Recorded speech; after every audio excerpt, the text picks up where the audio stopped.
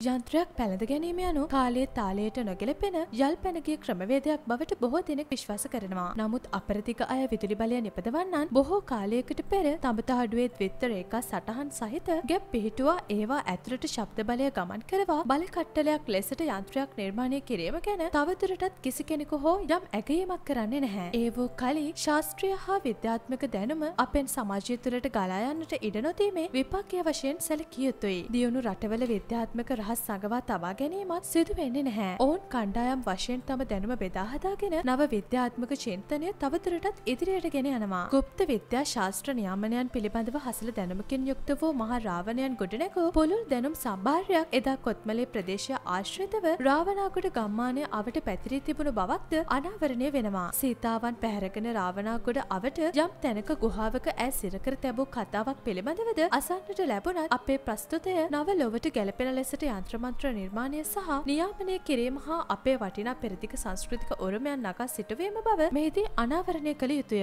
යන්ත්‍රයක් යනු පෙන්ඩ්‍රයිව් එක හා සමාන වූ විද්‍යාත්මක මෙවලමක් යම් කිසි බලයක් හා ශක්තියක් තම තහඩුවකට ආරෝපණය කොට යළිත් යම් කෙනෙකුගේ සිරුරට ශක්තිය කාණ්ඩුවීමට සැලැස්වීම ඒ මගින් ඉටුවෙනවා. නමුත් අද දවසට අවශ්‍ය වන කාර්යක්ෂමතාව සහ මිනිසුන්ගේ ඉතා සංකීර්ණ වූ පුද්ගල අවශ්‍යතාවයන් ඉටුකරදීම සඳහා සාම්ප්‍රදායික යන්ත්‍රය ප්‍රමාණවත් මෙවලමක් නොවන බව සඳහන් කිරීම කිරීම වූ කලී සත්‍යකි. එසේම යන්ත්‍රයක් ඇතුළු කර සුරයක් වැනි දෙයක් පැළඳීම හා නවතාව විචිත්‍රත්වයට මුල් තැන දෙන සමාජයකට යන්ත්‍ර පැළඳීමේ කැමැත්ත ගිලිහි ගොස් ඇති බවක් අපට සඳහන් කරන්න පුළුවන්. පුරාණ යන්ත්‍රමන්ත්‍ර පිටපත් කොට සූදානම් කරන ලද පුරාණ යන්ත්‍රමන්ත්‍රවලින් ඉෂ්ට සිද්ධ වන කාර්යභාරය කුමක්ද යන පැහැදිලි නැති පෙරනිමිති ක්‍රමයක් පොදු අවශ්‍යතාවයන්ට ගැලපෙන පරිදි නිර්මාණය කරන ලද යම් නිෂ්පාදනයකින් සියයට සියයක් එකසේ ගැලපීමක් අපේක්ෂා කළ නොහැකි. විද්‍යාත්මක නිර්මාණවලට ඇලුම් කරන නූතන සමාජ පදනමක් තුළ අලුත් දෙයක් ඉදිරිපත් කොට කාර්යක්ෂමතාවට හා විද්‍යාත්මක මුහුණුවරට ගැලපෙන ලෙස නිර්මාණයට ඉදිරිපත් කිරීම මගින් හෙට දවස තුළ අපේ දේවල් වලට ජාත්‍යන්තර තත්ත්වයක් ලැබෙනු නොඅනුමානය.